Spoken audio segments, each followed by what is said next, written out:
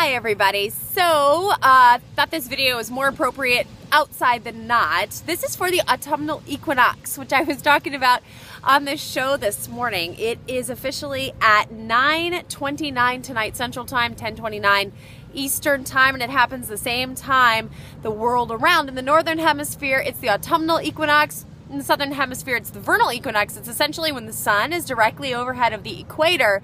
And for us, it means the sun will be slipping to the southern hemisphere, pushing us ever closer to winter. Um, and a lot of times people say it's equal day, equal night, 12 hours of each. Not exactly correct because the sun is not just like one fixed point, it's a disk. And we do sunrise and sunset based on just one outer edge of it. So it's not officially exactly 12 hours, but it does represent sort of like the most even time period that we reach. And the autumnal equinox really is kind of a beautiful time of the year when we start to see the harvest coming in and everything else. So through time, people have celebrated the autumnal equinox in a big way. A lot of uh, ancient rituals are based on the equinox and also then the solstices in summer and in winter. So this is a very beautiful day here in Chicago.